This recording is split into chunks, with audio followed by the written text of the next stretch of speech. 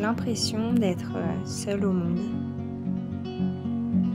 C'est pour moi un, sentiment très grisant euh, quand je me retrouve dans la nature et que, à perte de vue, je ne vois absolument personne et je me dis que euh, tout est possible, que je suis complètement libre, que je peux faire ce que je veux, comme je veux, être euh, entièrement qui je suis, sans devoir euh, me justifier, sans devoir demander euh, la permission à quelqu'un, sans devoir quoi que ce soit en fait.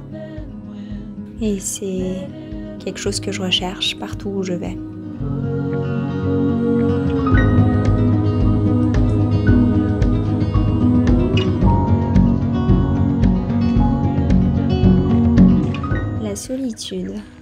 Un sentiment que l'on connaît tous un peu trop bien.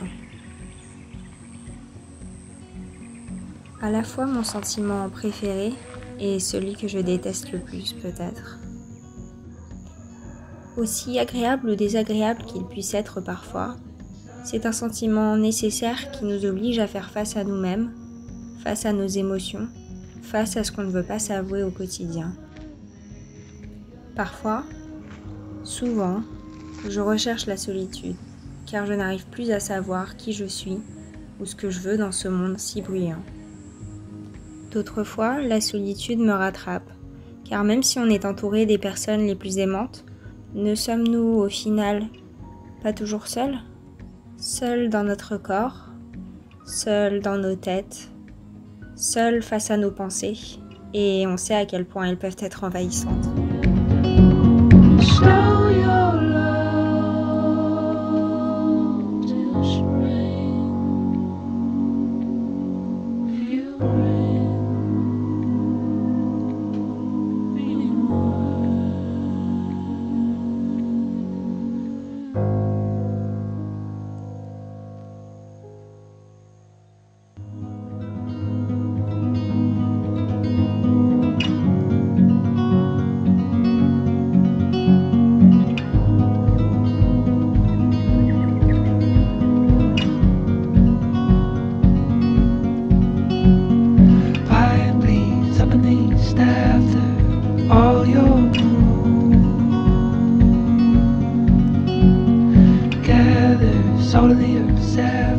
J'ai décidé d'apprivoiser la solitude, de l'accepter et même de l'embrasser.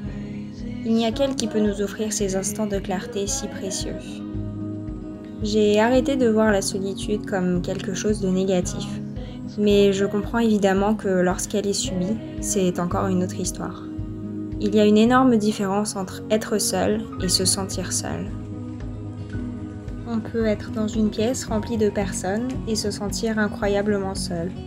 Cela m'arrive beaucoup plus souvent que tu ne le crois.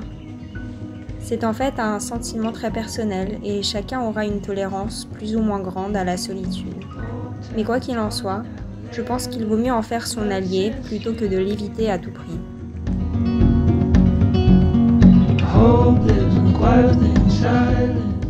On se sent seul parce qu'on a l'impression de ne pas appartenir, de ne pas appartenir à un groupe, une communauté, un lieu.